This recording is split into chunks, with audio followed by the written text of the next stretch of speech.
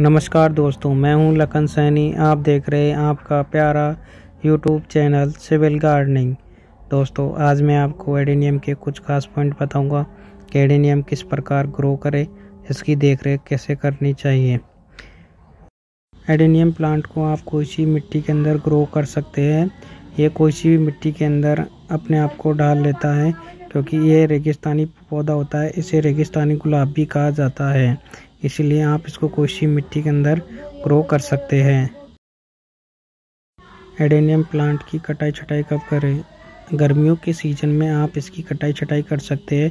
सबसे best season यही होता है, इसका कटाई छटाई करने के बाद आप इसमें नीम के तेल का छिड़काव कर दे, जिससे इसमें अच्छी ग्रोथ होती है। अदरस आप दूसरे सीज़न में इसकी कटिंग छटाई करते हैं तो ये प्लांट ख़राब हो जाता है फंगस लग जाता है।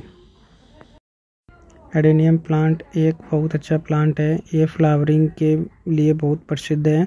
इसलिए इसके लिए तापमान और पानी की आवश्यकता कितनी होनी चाहिए? ये फुल सनलाइट प्लांट है। इसको आप गर्मियों में ही फुल सनलाइट के अंदर रखोगे तो ये बहुत अच्छा रिज़ल्ट देता है। अगर आप इसको सनलाइट के अंदर नहीं रखोगे तो ये रिज़ल्ट अच्छा नहीं देता है। तो ध्यान रहे कि आप इसको फुल सनलाइट के अंदर रखें। गर्मियों के टाइम में इसमें पानी की आवश्यकता अधिक होती है, इसलिए आप गर्मी में पानी अधिक डालें, सर्दियों में पानी आप इसमें कम डालें। सर्दियों के अंदर एक मेन पॉइंट है कि आप इसको सर्दी से बचा के रखें, नहीं तो ये प्लांट सर्दी लगने से ख़त्म हो जाता है, इसलिए जहाँ पे सर्दी कम लगती हो तो आप वहाँ पे इसको अवश्य रखें।